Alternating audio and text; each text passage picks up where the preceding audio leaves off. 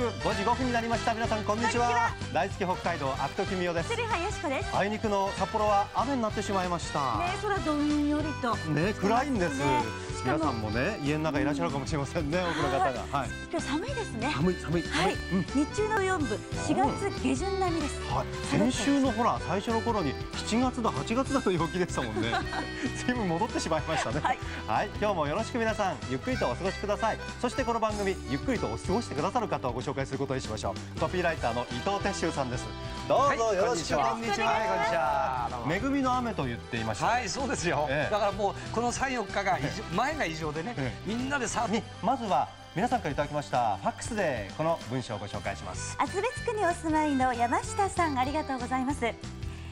毎日楽しく拝見しております。先日新聞に大好き北海道のテーマソングを歌っている釧路のフォークデュオヒートボイスが紹介されていました。素敵な曲ですよね。ぜひテレビで生で見て聴いてみたいですというファックスをいただきました。はい、今流れているこの曲これを歌ってくださっているのが、釧路出身釧路で活躍するヒートボイスのお二人です。そうです、はい。ということで今日の大好きサロンはこの2人。ヒートボイスのお二人に生で出演していただきましてえ？演奏していただきますので。お話も聞きますし演奏もお楽しみください、元気な二人ですもんね。本当ですはい。はい。そこで皆さんからファックスをお待ちしています。0112081995番でヒートボイスのお二人に対するメッセージやご質問などをお寄せください、はい。お待ちしています。はい、ヒートボイスはですね働きながら頑張って歌ってるんです、皆さんからも応援お願いします。願いします、はい、続いてはインフォメーション。今日はお客様は私たちのこの番組の主題歌を歌ってくださっているこの二人です。まっすぐに続く道。広がる地平線。青い空白い雲。海と交わ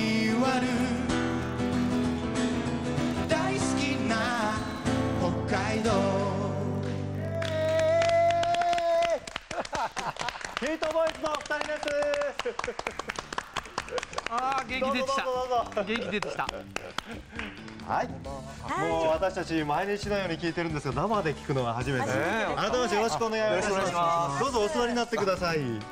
えー改めてヒートボイスのお二人をご紹介しようと思います。私の方に近い方からになりますけれども、えー、と伊藤和弘さんですえーそれから、えー目黒博之さんです。どうぞ。よろしくお願いをいたします、はい。ヒートボイスえ釧路で活躍されてるんですが実はサラリーマンでありながら歌も頑張ってらっしゃるという二足のわらじの持ち主でいらっしゃいます、はい。さあ歌詞なんですがね。今の歌。はテーマソングタイトル名を地平線の向こうにという名前であります、本当に北海道らしい歌詞ですね、はい。まず見てください。すぐに続く道広がる地平線青い空白い雲海と交わる大好きな北海道、緑の絨毯が体を包み込む風の舞森の歌大地の鼓動大好きな北海道。どうですかね。伊藤さん？はい、地平線の向こうにっていう歌ですけど、この中にあの海と交わるって詩がありますね。はいはいはいこれもう水平線の向こうも兼ねてますね。はい、こんな感じしますね。何かあのーこの札幌にいるいる時のイメージよりもね、私たちねおそらく道東に立った時に、うん。大道東のなんか地平線立った時そんなこと思うのかな？思いますね。私たちは思います。このえ海と交わる広がる地平線、ええ。この辺ですね。青い雲。すごくで空。白い雲。歌詞が素直でストレートに耳に心地よく入ってきました、お約束みたいな。単語を並べただけみたいな感じがしますけど。いやいや、ええ。地平線って平凡なあの言葉ですけど、しかしそれを言い切れるのは北海道だけですから。これはどういうイメージでお作りになりました？やっぱあの別海町っていうのが、はい別海。ええ別会ありますね、ええ。はい。なんかそういうようなイメージで。ああやっぱりね、あの広があるパイロットファームのですね、あのえ大きな広大な大地で、はい。なんかそんなような爽やかな、はい。ええ。あのこれは作詞はお二方でお作りになったんですね？目一番黒さんと、え一番は伊藤で、あ伊藤さんが一番を作られて、えはい。であの足りないということで二番が目黒さんが二番を、おーでもそうすると詩よりも曲の方が先だったんじゃないですか？そうですね。ねうんえあの足大変ですから後から塩を乗せるのは。なんとなくわかりますね。まあ私たちのね大好き北海道という番組の趣旨そのものにこれ本当にバッチリと合ってると思うんでありがとうございます。ありがとうございます。改めまして。お二人はね、釧路在住ということで。そうなんですよ。ええ。はい。でそもそもそのヒートボイスというあのグループ名になってるんですが、これどうしてなのかなんですが、伊藤さんどういうことからなんえですか？こ。れはあの2人で、ええ。あのもともと1人で、ええ。あの伊藤和弘目黒博之っていうことで一人一人あの弾き語りを、はい。あの駅前の喫茶店でやってたんですけども、である時やっぱりあの何かイベントで、あの一人の枠っていうことで、じゃあ2人でやりましょうっていうことになって、はい。はい。でそれで2人で2人で。二人で。息もぴったり。そう最初はね、あのええ僕僕よりずっと大先輩なので、あのーいいのかなっていうそういうのはありましたけども。いくつ違うんですか？ー7つ違う。七七つ七歳違うんですか？ええ。はい。見た目は変わらないですけど。ね ありがとうございます。実はもうあの目黒さんの方はお子さんがお二人ええいらっしゃるねいますええいらっしゃるんですよね。ですが伊藤さんの方はまだ独身でいらっしゃるでしょ？ね。でヒートボイスというグループ名その名前の由来ですが狙いって言いましょうか？目指すべきその名前の意味っていうのを教えてほしいんですが目黒さんいかがですか？あのゴヒートボイスって僕が考えたんですけどもあはい。あのまあ2人とも1人ずつライブやってて、えあの熱い熱い僕たちのそのなんていうの熱意をみたいのをえ伝えたいと。それはどうやって作ってあげるかって言ったら歌を歌うこう、まあ、声を出すっていうことで、ええ。熱い声。でヒートボイス、まあ、単純なんですけどあヒートするね。なるほど、ネーミングとしては。あ熱戦だな。熱いで、ここでお二人の素顔をちょっと見ていただきたいんですよね。はい。こちらであの先ほどもお伝えしているようにお二方ともにお仕事をお持ちですから、まずは日頃のですね、えーお仕事ぶりからお話を伺いたいと思っています、えー、釧路でどんな仕事をしてるまずは伊藤さん、はい。お仕事は何をやってらっしゃるんえですか？あのー植木のですね、はい。リースのええ。お仕事をしてます。お仕事、えー場所は何町でございましょうか？そうですね、あのーはい。えよくええ。私たち釧路の人は駅裏駅裏って言うんですけど、はい駅裏の花園町そうですにあります。はい、この地図、私たち用意しました。え、あのじゃあ伊藤さんはこの駅裏花園町のところであこの写真はね、はい、えご自身がちゃんと写っておりますけども、これはあの稲刈りのシーンではありませんね。ちょっと お仕事されてます。どういうあのジャンルのお仕事なんですか？そうですね、あのこういう観葉植物をですね、ええ。あのいろんなあの会社だとか、ええ。あの個人のお宅にレンタル、リースそうですか。っていうような、あ、ええ。そうなんです釧路はちょっと緑の少ない町ですからそうですね。じゃあ私たちなどもあの結構こうやってレンタルで植木などをお借りすること多いんですが番組上、そういうふうなところの。そうですね。そう。でございます。か。い。ろいろとお世話になっておりましてね。結構もうじゃああのこれについては何年ぐらいお仕事されてるんですか？え。っ、と約5年。あもう詳しくなりましたね。そうですか。ええ。えだってもともとこういうものについておやりになってたわけじゃないでしょ？えそうなんです。あの市内の工業高校に、えを卒業しまして、えで一回東京の方に、えあの工場に勤めに行ったんですよ。はいで丸3年ええ勤めて、こっちへ帰ってきてすぐこちらのあの仕事をしてるんですけど。なるほどね。えということで U ターンと考えていいわけですね。あそうですねはい。さあそしてもう一人目黒さんは、えー、お仕事の方は？炭鉱です。炭鉱です。まあもう聞いてわかると思いますけども。太平洋炭鉱。太平洋炭鉱になります。そうですか。えーで、えー、それ場所はだいたいえーちょうど春トリコのええ。下あたりに下あたり、はい、じゃあこの辺にこう貼りますが、この作業風景、ちょうどこのいでたち、勇ましいいでたちご覧ください。ね目黒さん、この方ですよね。ね、ヘルメットかぶって、ということは、これあの海底にどんどん今掘り進んでますから、はい。入るわけですか？入ります。あ、そうですか。どんどんどんどん深く入ってて今はえ切浜で切ったらかなりええ時間が1時間以上はかかりますね。そうですか。そして働いてる二人なんですけれども、週に一度ライブをええ。されてるんですね。あの要するにあの伊藤さんの方は日の当たる植物を育てる で目黒さんの方は日の当たらないところに生えてる。でこの二人がおあの一緒に会う時があるんですね。でそれがですねライブで毎週土曜日にライブハウスで、はい。っていうかあのあのレストランで。レストランですね。ええ。はい。地ビールのレストランでライブをやってらっしゃるんですね、はい。その場所が大体ちょうどあの宇佐前橋のたもととこれ言いますか。ね釧路のシンボル、あの大体ここデートコースに、はい。あの、は とこですね、伊藤さんよくはい飲んだ後ここ歩いて何十回見てますね。店主さんのよくあるここに。釧路何十回見て？毎日いつでも行っても翌朝二日酔いですから。天敵です僕の。ということでこちらの方でお二人がこうさ仕事の合間にライブをされてるんですけど、しかしね仕事が随分あの時間的にこう合わないことも多いんじゃないですか？そうです。さんいかがですか？えー僕はあの3交代でええ。勤務が勤務時間がそうね。まばらなんで。24時間ずっと作業が続きますもんね。それで、まあ、僕が都合のいい時間にはい。やるんですけどなかなかそれもできなくて結構ぶっつけ本番でやあったりとか。あの釧路在住ということですけどもね釧路はどんな風に住んでらっしゃる人たちにとっていいですか？そうですね。やっぱりあったかいというかみんなゆっくりせなんか生活してるっていうかうん。せこせこしてないというあか、あそういう感じしますか？えやっぱりあのちょっとここで釧路のですねあのお二方にとってその好きなことについてちょっと伺いますけども伊藤さんは一旦外に出られて、はい。で伊藤さんは戻ってこられた。和弘さんは戻ってこられた、ええ。でその辺には何かこうきあのこだわりがあるんですか？釧路に対ーして。そうです。やっぱあのちょっと長い目で見たときに、えちょっとやっぱり自分には合わないな都会の生活が、ええうん、ええ。なんか合わないなっていうふうに単純にごくごくえ単純に思って別にあの仕事とか人間関係とかでなんか苦労してとかそういうんじゃないんですけどただ釧路に帰りたくなったなっていう理由だけでそうですか。ええああその時の釧路っていうのはどんなそのお感じで、こんなとこが好きだというそういうのはありました、そうですねやっぱり、うん、人間がやっぱりえ。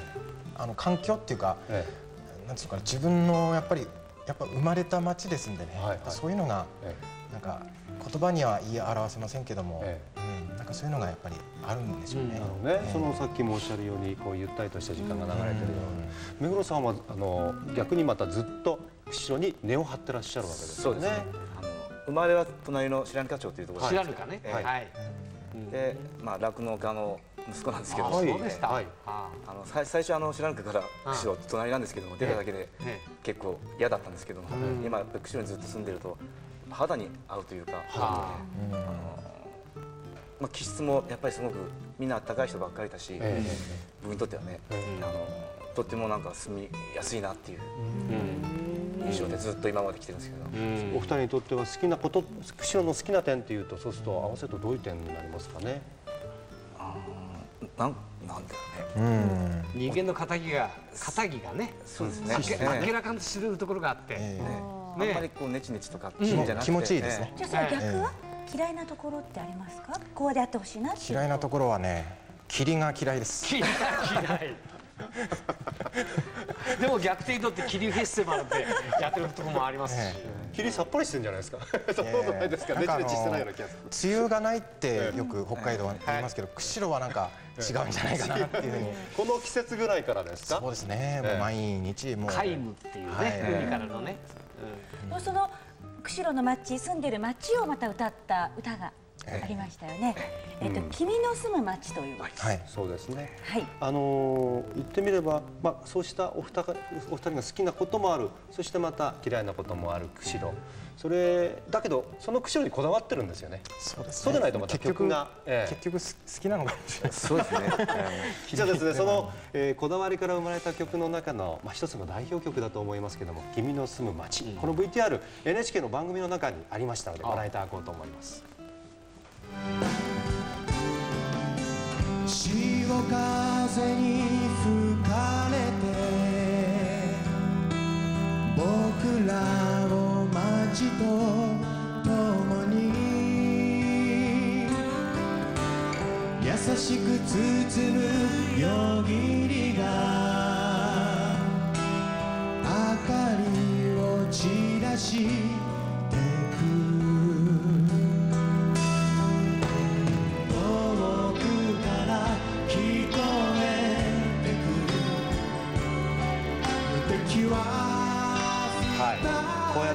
って詩の中にはちゃんと夜霧が優しく包んでいる私も思いました。ね僕も思いました。嫌いだというの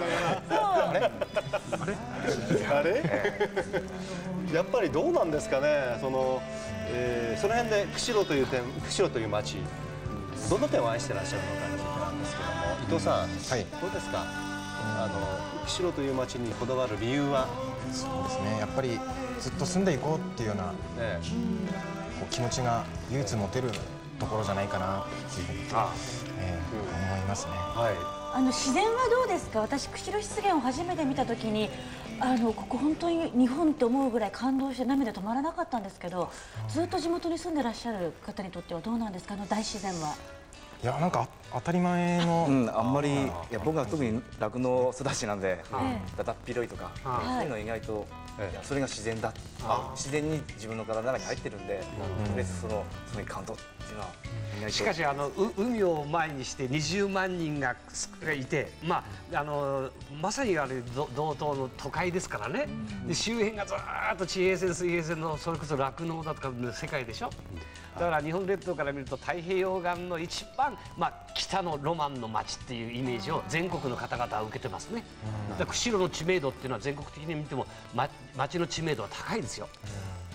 そうでしょうね、そうつまりあの歌を通してね釧路で根を張って歌を作ることによって何を目指してますか？そうですね。あのやっぱり盛り上げていきたいですね。やっぱりはい。地元から、ええ。地域をね。え地域から、ええ。ええ地域上げるっていうのは発発展というか。地域発展、ええ。うんあ随分こうなんか大きいこと言うとね。いやいや。すごく大事なことだと思うんですよ、でそのこだわりのね根っこにあるのは何ですか、こう盛り上げていきたいってことは逆に今若干。うんやっぱ釧路がす好きとか、うん。一言で言うとね。ね。今こういう情勢というか、えまあいろいろいろんな女性こええ。うステーキだとか、はい。で釧路も意外とだんだん人口が減ってってるっていう話も聞くんで、えそれを盛り上げるために僕たちが頑張ってやろうかと。じゃあ歌を通してメッセージを訴えていこうと。いうことですね。あつまさしくヒートボイスですね。ファックスをいただい。てますきました、はいはい。FM 釧路スタッフ一同の皆さんありがとうございます。ありがとうございます。祝 NHK 出演。今日も FM 釧路には君の住む街のリクエスト来たよ。伊藤君も目黒さんもかっこよく映ってるよ。はい、ありがとうございます。えーそして旭川にお住まいの主婦の方、はい。森下さん、はい。今日は生出演とのことをドキドキしながら見ています、はい。番組のテーマ曲以外もぜひ聞かせてください。はい、ありがとうございます皆さん。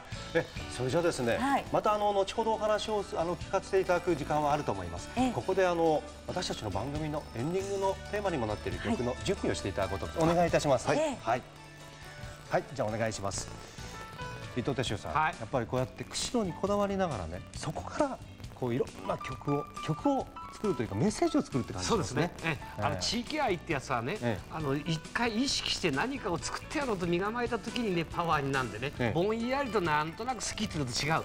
彼らはやっぱりね大好き釧路っていうねところを切り口にして、ええ。情報を発信しようと思ってるわけでしょ。そうですね。情報が音楽なんですよね、えだからこういう意味で情報が魚であったり情報が料理であったり何でもいいんです、ね地域特性みたいなものをいそのファッション化するとか情報化するっていうことが素晴らしいですねあの情報イコール愛情、ね、愛愛の情報かもしれませんね。はい。そうですね。さあそれではですねヒートボイスのお二人に大好き北海道の私たちのこの番組のエンディングテーマにもなっています。曲を歌っていただきます。宝物です。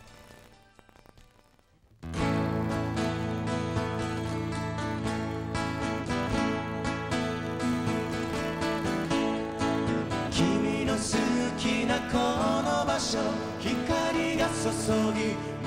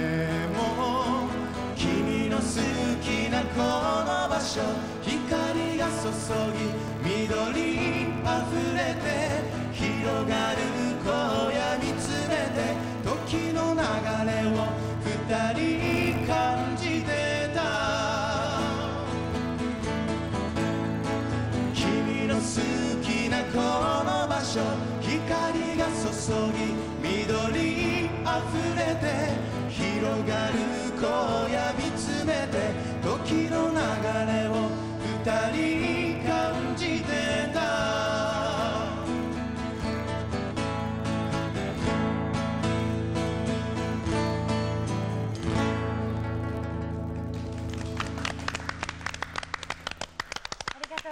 ありがとうございました。エンドテーマの歌詞がこうだったのかってい初めて。や意識してね初めて聞いたような気しますね。はい。なんかこの好きな場所っていうのが本当に釧路のその周辺の風景にマッチングしてましたね、はい。とっても素敵な曲。これがエンディングテーマでもあります宝物です、皆さんまたあの機会があったらぜひ聴いてみてください。さあそれでは街角インフォメーションいきましょう。美味しそうでしたね。ちょっとこちらの地図ご覧いただきまし見ますと西方向に向か車はですねこので米町公園この辺りになりも出ております、そこではいということですけど今